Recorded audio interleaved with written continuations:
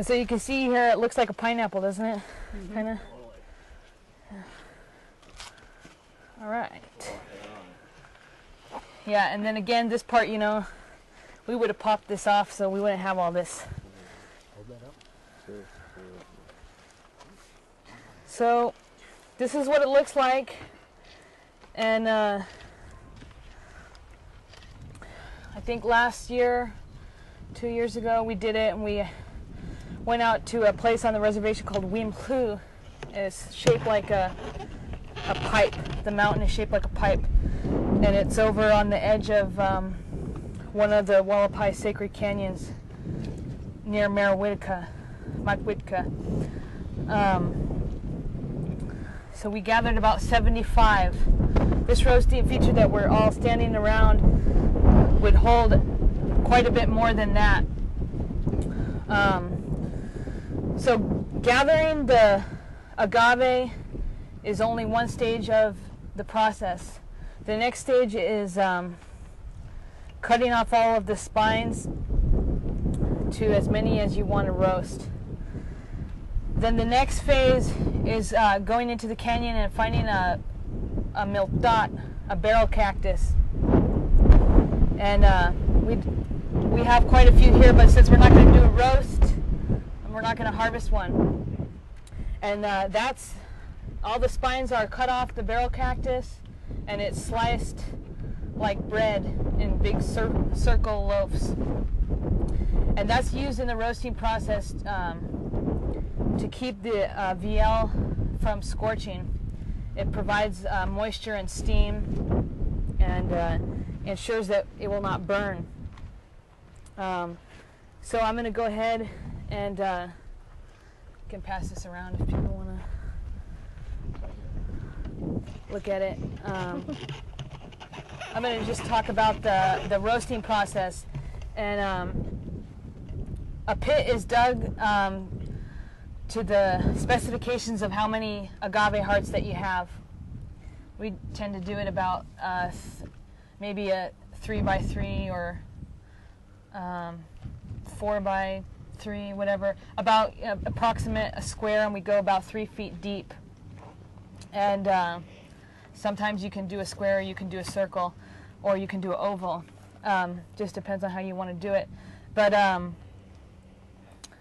the wood that's used in the roasting process is, is juniper.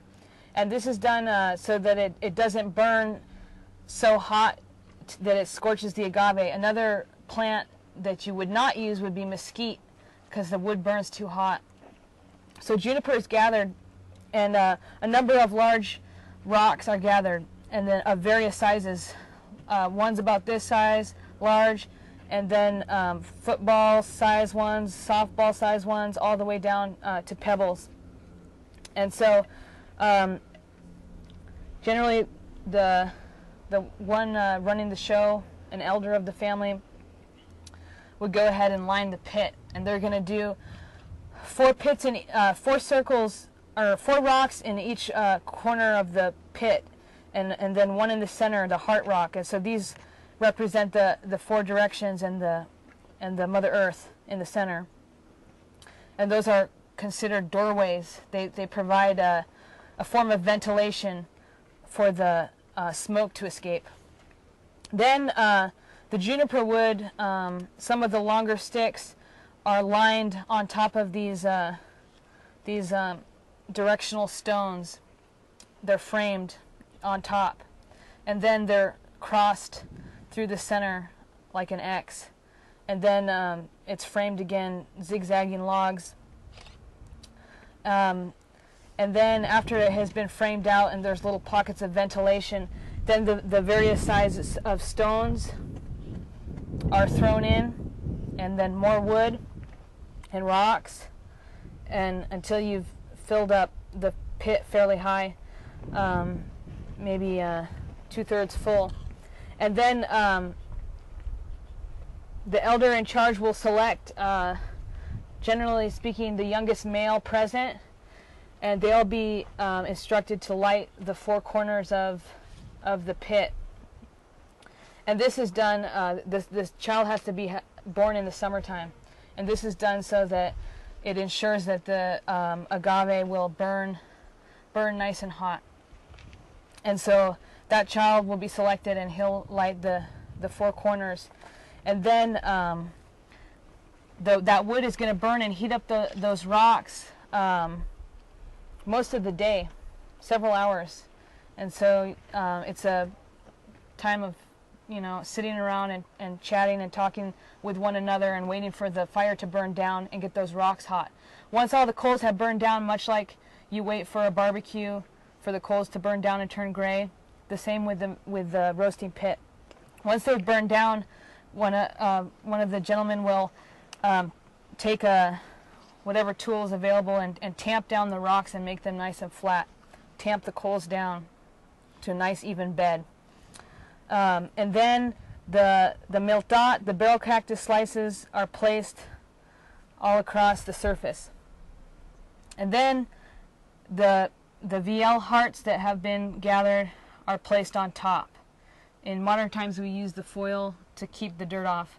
Um, Beans was saying the same thing that they used uh, burlap sacks um, in more uh, contemporary times. I'm not sure. Maybe they used a hide.